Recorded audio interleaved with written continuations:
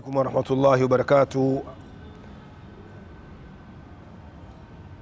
الحمد لله الذي هدانا لهذا وما كنا لنهتدي, لنهتدي لولا أن هدانا الله.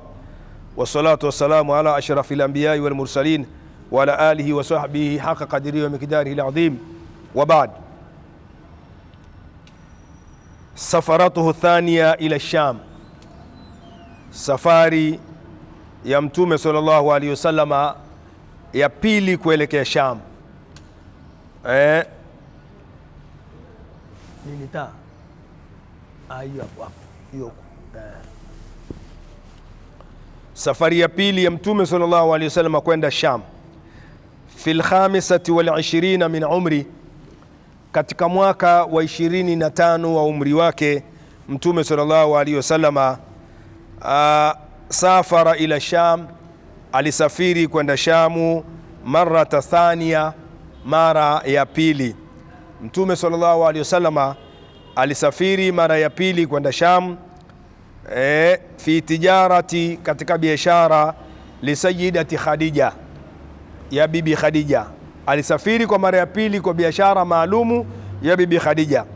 A, tulisoma siku za nyuma huko kwamba mtume alisafiri kwenda Shamu mara ya kwanza, lakini safari yake hakufika mwisho, akarudishiwa njiani kwa sababu alionekanwa na mtu mtaalamu ambaye anajua mitume wa- wana alama gani. Kwa hiyo akabidi apange safari nyingine ya pili, lakini wakati huu anasafiri tena eh, kwenda Sham kwa ajili ya biashara. Sasa amepewa kazi maalumu na bibi Khadija Wakanat dhata sharafin wa malin, bibi Khadija alikuwa ni mwenye mali. Dhata sharafin wa mali, alikuwa ni mwenye mali nyingi. Bibi Khadija mwenye utukufu na mali nyingi. Bibi Khadija alikuwa ni katika watu wakubwa wa pale Maka. Kwa hiyo akamwajiri Mtume sallallahu alaihi wasallama baada ya kusikia sifa sifa zake mtaani. Bibi Khadija tastajiru rijala fi maliha, alikuwa anawaajiri wanaume katika kufanya kazi zake za biashara. E, akamwajiri Mtume Muhammad sallallahu alaihi wasallama kama ilivyokuwa kawaida e, ya, ya, ya biashara, basi anatafuta mtu ambaye ni muhimu na anajua masuala ya kibiashara. Mtume sallallahu alaihi wasallama aka- akaajiriwa na Bibi Khadija e, wakad ikhtarathu lihadha alamal, lakini huyu Bibi Khadija amemchagua Mtume sallallahu alaihi wasallam katika kazi hii liannaha, hakika kabisa, samiat bisidqihi, subhanallah, amesikia ukweli wa Mtume, yani ule ukweli wake. Mtaani akawa ameenea, ameenea Mtume kwamba ni mkweli, anasema ukweli, anasikika, anasema ukweli, watu wanamwelewa.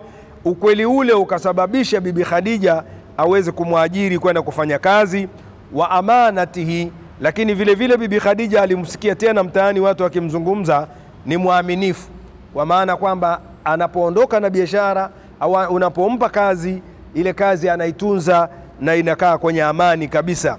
Kwa hiyo Bibi Khadija kwa sifa hizi mbili eh, bado na ya tatu, wa akhlaqihi sharifa eh, na tabia zake nzuri, vitu vitatu hivi ndio vilivyomvuta Bibi Khadija. Hata wewe leo eh, ndugu mtazamaji au msikilizaji, ukitaka ufanikiwe, jenga vitu hivyo vitatu. Kwanza, kuwa mkweli; pili, kuwa mwaminifu; na tatu, uwe na tabia njema. Hivi vitu vitatu vikishakaa kwako, biashara yote utafanya, kazi yote utafanya. Kama ni serikalini, utafanya kazi serikalini. Kama ni mashirika ma- ya e, binafsi, utafanya kazi mashirika binafsi. Kwa sababu gani? Wewe una tabia hizi tatu. Maana yake wewe ni mkweli, wewe ni mwaminifu, lakini vile vile wewe una tabia njema eh, una tabia njema. Mtume Muhammad sallallahu alaihi wasallam alikuwa na tabia njema. Alikuwa mtume ni mkweli, alikuwa mtume ni mwaminifu, lakini mtume eh, kwa tabia hizi peke yake Bibi Khadija akavutiwa, akaona bora amwajiri. Na wewe leo huko tunakoishi katika maisha yetu, hebu jipambe na tabia hizi, alafu uone kama unaweza kupata hasara. Naamini hutapata hasara, utafanikiwa kwa sababu tayari umejijenga katika sifa ambazo alizokuwa nazo Mtume Muhammadin sallallahu alaihi wasallam. Safari hii Mtume anasafiri kwenda Sham, kana maahu khadimuha Maisara, alikuwa na mtumishi wa, wa bibi Khadija anaitwa Maisara. E, bibi, bibi Khadija alikuwa na mfanyakazi wake mwingine aki- akiitwa Maisara.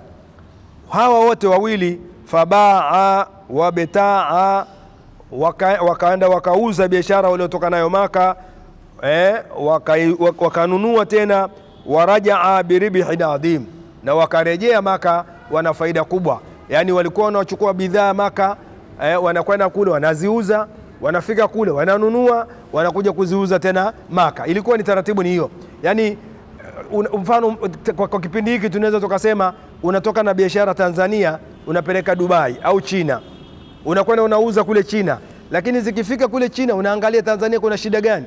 Ah, kuna hichi kipo hichi chipo, unanunua tena kule, unakuja kuuza Dar es Salaam ama Tanzania.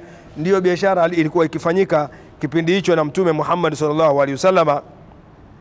Mtume huyu uh, inasemekana katika safari hii ya pili tena uh, raahu e, alimuona padiri mwingine ambaye anaitwa Nastura arrahib faarafa annahu nabiyu almuntadhir. Huyu alivyofika kule Shamu, naye akamwona akasema, huyu ndio mtume atakayekuja baadaye. Huyu kwa sababu ya biashara anazoziuza na vile anavyopata faida, huyu atakuja kuwa ndio mtume wa baadaye. Ndugu yangu Muislamu, mtu ambaye si Muislamu huyu ambaye amesoma ahlul, vitabu vya ahlul kitab, lakini alimuona akamtambua Mtume Muhammad sallallahu alaihi wasallam. Mimi na wewe leo unashindwaje kumtambua mtume ndio mtume wa kweli? Unashindwaje kumtambua mtume kwamba ndio amekuja kuiokoa hii dunia isiangamie, ili dunia iende kwenye ma, mafanikio? Tunamwona Mtume sallallahu alaihi wasallam katika safari hii ya pili ambayo ameelekea Sham na amefanya biashara zake vizuri na amepokelewa vizuri na watu wa kule, kwa sababu hafanyi biashara. Biashara zetu sisi zinakuwa hazi, hazi, haziwi vizuri kwa sababu mfano, chukulia unauza, unauza shati au unauza makoti, unauza masuruali kuna sehemu kama kuna nyuki nyuki nyuki nyuki, maana yake ni mashati yaliyotoboka toboka. Wewe unaziba bila ya kumwonyesha mteja kwamba bwana, shati hili zuri, lakini bwana lina alama hii. Ukiweza chukua, na ukijijengea hivyo, maana yake utakuwa umeweka uaminifu kwenye biashara yako, na Allah anakuletea baraka, anakushushia baraka katika biashara yako, na biashara yako itakwenda. Tunamsoma Mtume ili tulete kwenye maisha yetu, tuweze kuishi kama alivyoishi Mtume Muhammadin sallallahu alaihi wasallama. Ah, baada ya kuyasema hayo kwa siku hii ya leo, ndugu zangu, tuishie hapo, ili Mwenyezi Mungu Subhanahu wa Ta'ala akitupa tena nafasi nyingine, tutakuja kuendelea na darsa zetu hizi. Tufuatilie katika Darsa TV ambapo utapata darsa zetu hizi insha Allah kwa uwazi zaidi na uzuri zaidi, na wewe ukiwa umetulia vizuri kabisa hapo ulipo e, ikiwa ni nyumbani, ikiwa ni kwenye gari lako, ikiwa ni popote pale, basi wewe endelea kutufuatilia eneo hilo. Wassalamu alaikum warahmatullahi wabarakatuh.